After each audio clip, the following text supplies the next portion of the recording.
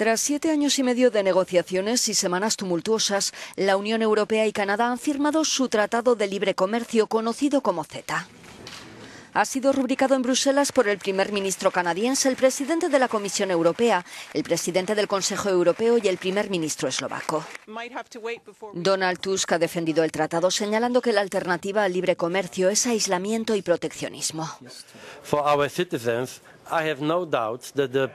Para nuestros ciudadanos no hay duda de que la llamada aplicación provisional, la implementación, la puesta en práctica será la mejor formación posible, mucho mejor que la persuasión o las palabras.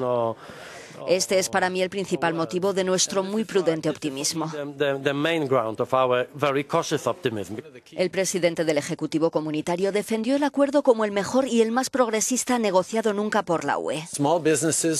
Mientras que el primer ministro canadiense dijo que las pequeñas empresas, los consumidores, empezarán a sentir sus beneficios de inmediato, incluso antes de la ratificación de los 28 parlamentos europeos.